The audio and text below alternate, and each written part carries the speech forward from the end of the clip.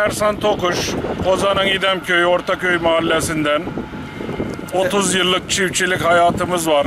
Ata Dede yurdunda fıstık ekimi gerçekleştirmekteyiz. Fıstık bölgemizde iki, birinci ürün ve ikinci ürün olarak ekilmektedir. İkinci ürün fıstık, birinci buğday hasatı yapıldıktan hemen sonra özellikle e, buğdayın dip noktadan biçilmeye önem gösterilmekte.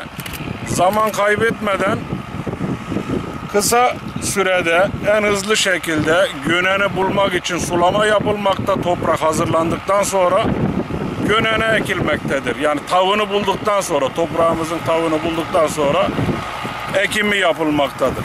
Bizim bölgede İdem Ortaköy mahallesinde 3500-4000 dönüm alana ikinci ürün fıstık ekilmekte. Bu da Türkiye ekonomisine büyük katkı sağlamakta.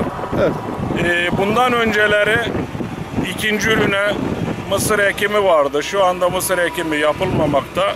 Onun yerini de ikinci ürün olarak fıstık ekimi yer almakta. Kaliteli bu bölgemizin en kaliteli ürünü Kozan'ın İdem Ortaköy mahallesinde. Kadirli'den, Osmaniye'den daha kaliteli fıstık yetiştirilmekte. Birinci ürün 5000 dönüm araziye ekilir. İkinci ürün de bizim bölgede, şu anda bir bölgede.